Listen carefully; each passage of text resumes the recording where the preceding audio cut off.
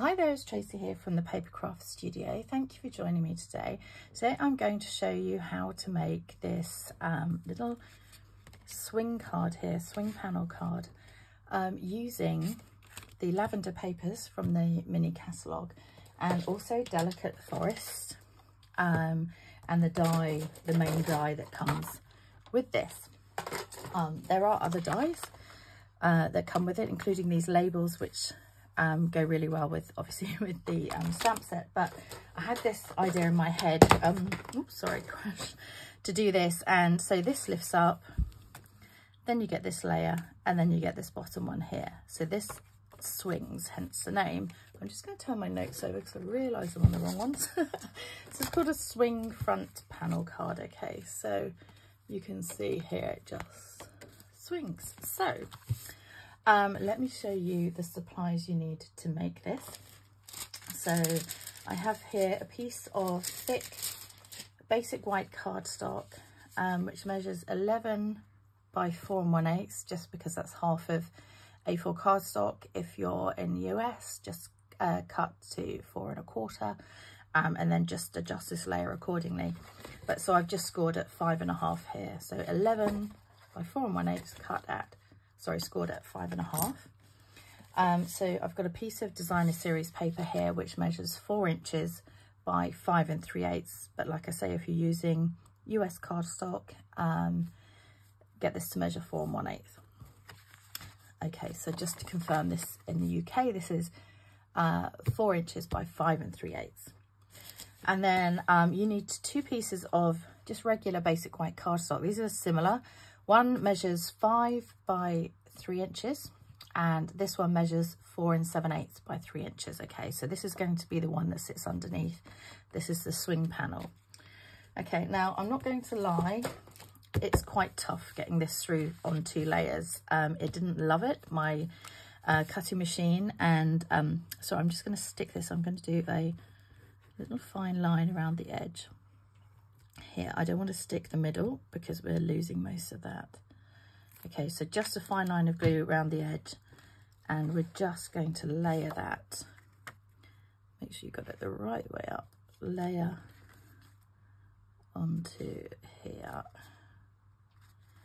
There we go, roughly in the middle. Sliding mine across a little bit. Okay, um, yes, so sorry, where was I there? Um, yes, I'm not going to lie, it doesn't love cutting through the thick layer and this layer. So I'll show you what I did. Um, so this one, this has gone through many times now. So I'm layering up kind of like this, pretty much an even border all the way around. You can pin it in place with some washi tape if you want. Um, but what I would suggest is that you have a go on your machine, your cutting machine, because they're all, um, what's the word? It's not configurated, but um oh nearly had it then. I'll think of it but they're all set up collaborated. Uh, collaborated. calibrated. That's the one i'm looking for. Calibrated in slightly different ways. So um yours might be perfectly fine. It might glide on through and you know happy days. Uh, mine didn't like it at all. So what i did was i've put a shim on top here but i've also put another layer. I'm just going to get a scrap here over that piece because it's this piece in the middle at the top that it struggles to cut okay? Um so i'm going to put that through. I found i had to do it back and forth back and forth back and forth okay? Um but just see like i say on your machine how um how you get on with that. But i'm going to go ahead and cut mine and i will be right back. Okay i'm going to hope that that's now about to come out quite easily. So um, if you've got this in a kit from me, I'll have done this stage for you and you might be missing this top one here. Um, so I'm going to get rid of the die for a second. I can poke those little bits out after. So uh, you want to get rid of this white piece in the center and you need to work this quite carefully so you don't rip anything. And you can see from the back really where it's going. Um, if there are any tricky bits that won't come out, you may need to just give them a little snip just to help them on their way. Um, like I say, it didn't love going through. It doesn't look like it's gone through that bit very well, but um, we can cut that. And also, nobody really knows all the layers or all the pieces. So um, you can kind of put your finger there and just hold these ones and they do pop out, okay? So that's got rid of that centerpiece. Um, and then some of these you can see on the back, they're not fully cut and they're not meant to be. They're just meant to kind of poke up a little bit. So um, you can spend some time um, with a pokey tool, just getting rid of these extra bits here. Like I say, if there's any tough bits, just look on the back and just give them a little, little gentle pull or you can cut them. So I'm going to go around and take out all these little spare bits. Um, these little bits down the side will all come out. They're coming out quite easily. And um, once I've done all this, I'll um, show you how to set up the next stage. Okay, I think I'm nearly done. And to be honest, nobody knows where all of the pieces should come out. So if you miss a couple, don't worry. Or if they're really stubborn, um, don't worry, that's one that's just joined at the bottom. Uh, that one should come out. Like I say, if they're a bit stubborn, just cut them a little bit. If you're just going to pull them out, just be really careful it doesn't tear, okay? So I think we're nearly there. That one. I keep looking and seeing some more. So I think that's pretty much it. I'm just going to get rid of this a second. A little bit messy this one, but I'm hoping you'll agree that the little bit of work to get all of this out is worth it. So what you can do at this stage, oh, I can see a little white piece down here. What you can do um, at this stage, if you like, I'm just going to put a bit of cardstock underneath so you can see where I'm working on this. Um, some of these pieces, um, that one looks like it needs to come off. Some of these pieces um, can be stuck down if you'd rather. Um, you know, they just lift a little bit. So you might want to go around just on these little end pieces here and put a tiny dot of glue just to um, hold them in place. But to be honest, they don't look bad if they pop up. So I've put too much glue on that one. Right, come on, Tracy. oh dear. Um, I said in my previous video, I'm off to Rotterdam tomorrow and I've also got a class tonight. So I am trying to get these videos done as quickly as possible so that, um, you know, my class ladies who needed a kit at home can do them. But I'm also um, aware that I haven't done last month's videos yet, but there are less people waiting for that. So I will complete those when I come back. I've just spotted another little white bit there. Um, but yeah, so, um, and like I said, these bits here, they just kind of poke through. So you can, if you want, lift them up. They're just lifted at one end, but I'm really not too worried. Okay, cool. So here we are. This is our piece here. So just going to bring in these other two pieces. So I'm going to take the slightly bigger one, so the five inch by three inch here, and I'm going to put a score line. Just get my scoreboard in um, at four and a half inches. So essentially it's it's a half inch from an end, but I prefer doing this end to that end. So four and a half inches on the five inch side um, here. We're just going to stamp our trees. Now I got this um, this colour combination, particularly in these trees actually. Um, I didn't, I don't think I wrote down who I saw it originally, but um, it was a um, another demonstrator had put this trio of trees um, on a on a different card completely here, but um, if I could remember, I would say, because, you know, it's nice to just say who, who where you got the idea from, but I've, um, I can't quite remember, I'm, I'm sorry about that. So this one here, I'm inking up in Fresh Freesia, and you need to ink it quite well. And this one's going to go on the right hand side here. So I'm going to line it up the um, the trunk with the bottom of the card here and just press that one down. Okay, and then I'm going to give that a quick clean on my stamping scrub.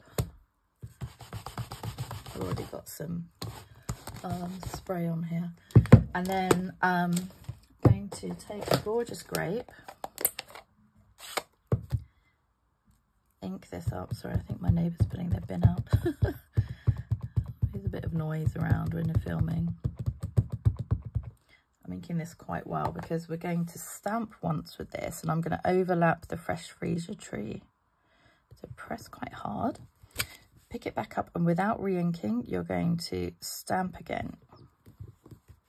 And that's how we get that little trio of colours. That's really cute. You could probably use Highland Heather if you wanted to ink that one again, but um, I saw this online. I thought that was a really nice effect. So again, just going to give this a quick clean because I've got my last class of this tonight. Okay, so then we're going to do a little bit of stamping in Lost Lagoon.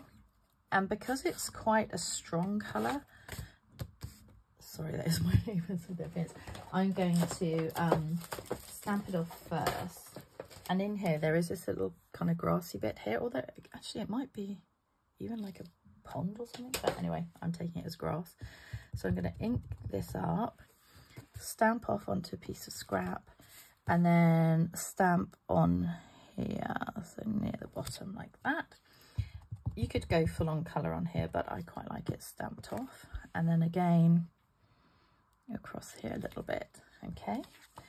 And then um, on my other piece here, just while I've got this, so this is the uh, 4 and 7 eighths by 3. I'm just going to do a similar similar thing, but stamp off very well on this. Um, but this time I'm going to start on this edge here, so they're slightly different. And then over here as well. Cool. Very sweet. And you can see I missed part of the stamp here, but really doesn't matter. It looks good anyway. Okay. Um, and then a bit more stamping with Gorgeous Grape. Um, I've chosen this um, stamp set, Sending Love and Best Wishes. Where's it from? Oh, it's from Perennial Postage. Because um, they had Mother's Day and stuff in there as well. Um, so on this piece here, so not the tree piece, on this bottom one, you can choose whichever greeting you'd like.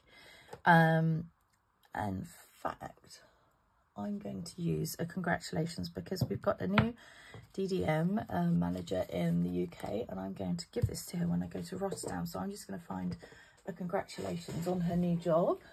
Okay, I can't quite find the one I was looking for, but I'm going to go with Let's Celebrate You from this Celebrate with Tags. Um, I think it's still current, but oh, not my light um, it may not be, but I'm going to use it for this one. But like I said, uh, they had a choice of Happy Mother's Day or um, um, or sending love and best wishes. That's quite nice, kind of generic um, sentiment. Okay, so I'm going to ink this up and hope I get it kind of in the centre. I need to re-ink my gorgeous grape ink pad and I realised I don't actually have a re-inker for it, which is bizarre because I have most colours. I don't know why I don't have this. Um, okay, and then also in the set, sorry, a bit noisy here, um, you've got these little kind of falling leaves. So I thought, why not use those as well? so let's uh, ink that up, also in Gorgeous Grape, and I've just popped it up there that didn't stamp. Okay, so I went again because um, it didn't line up. As it goes, it went all fuzzy, so I've stamped it again. Okay, so let's put this together now. So we're going to fold on our score line here, just give it a little burnish. Okay, so this one's going to stick in here. You just want to have a little look. So you don't want it to come so far down. This one's going to stick in here afterwards, okay? Um, or you could line them up and stick them together now, but you don't want it so far down that this comes out the end of the card. So I don't want my first piece to be any lower than that. And I'm just going to have a look just to check that the trees come through quite nicely there. Okay, so it's pretty much central on the card here. So pop some glue on the back or some tape, whichever you're using. And I'm going to stick this piece centrally. I'm just going to check that this isn't going to come out underneath. Ooh, sliding. Before it sticks for sure. No, we're fine. In fact, I probably could come down a little bit if it will still let me slide. So just if you're sliding it around, make sure you don't have glue. Okay, so that's really pretty because you want to see as much of those trees as you can coming through. So that's just a, a loose flap. So we've only stuck down this piece. This time we're going to stick this whole piece down, okay? like I say, what you don't want is, it is for it to come out the bottom. So if you have stuck this one down a little bit too far, maybe just shave a little bit off the top or the bottom, maybe off the top if you've got space, because um, you don't want to lose your grass here.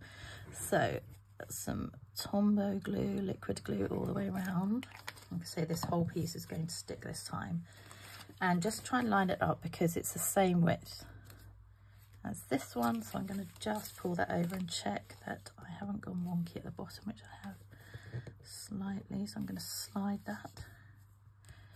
Okay, that's great. So just have another little check. So that sticks underneath. So you've got that kind of two-tiered on the grass here. Um, and then really, this is all there is to it. Um, so it, if it, it doesn't stand, just give it a pinch at the top again. And then you're just going to add some of these very sweet and um, I've used lots of them. Uh, these are the um, dots. I'm not quite sure what they're called, but they're in the lavender suite. I'll put it in the description below. Um, but we're going to add just a couple of these um, scattered on here. Oh, so cute. I'm really happy with how this turned out. So I hope you enjoy making my swing front panel card using the Lavender Suite and Delicate Forest. Take care, see you soon. Bye.